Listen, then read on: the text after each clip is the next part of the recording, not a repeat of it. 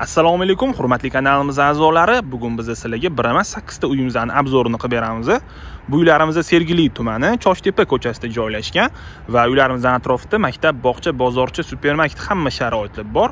Ko'rib turganingizdek ko'chani yuzida joylashgan va metroga ham juda ham yaqin joyda joylashgan. Bu uylarimiz har biri bir xonadan o'ttiz kvadrat metrdan iborat. Uylarimizni fasadi va devorlariga mana shunaqa travertin sepilgan.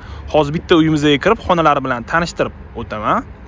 Ko'rib turganingizdek uylarimizga mana shunaqa sifatli temir eshik ham o'rnatib ketilgan va uyimizga kirganda o'ng tomonimizda kotelniyimiz joylashgan. Uylarimiz a'lo darajada evi remont qilib qo'yilgan. Mana shunaqa mdf eshiklarini ham ko'rishinglar mumkin. Bu yoqda oshxonamiz joylashgan va barcha xonalarimizga mana shunaqa sifatli romla ham o'rnatib ketilgan xavfsizlik panjarasi bilan birga hozir tashqariga chiqqanda ham guvohi bo'lishinglar mumkin va hamma xonalarimizga mana shunaqa sifatli tarketlar qilib ketilgan.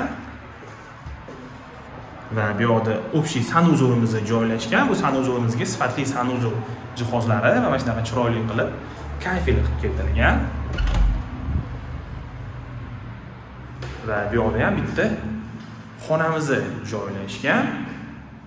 Va uyimizni isitish uchun bo'lsa mana shunaqa sifatli radiatorlar ham o'rnatib ketilgan.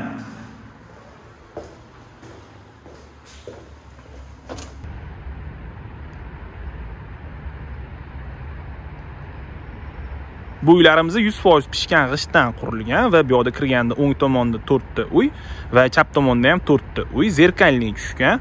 Moshina qo'yish uchun ham joylarimiz yetarli ko'rib turganinglardek va boya aytib o'tgandek hamma uylarimizda mana shunaqa xavfsizlik panjaralari va sifatli romlar ham o'rnatib ketilgan.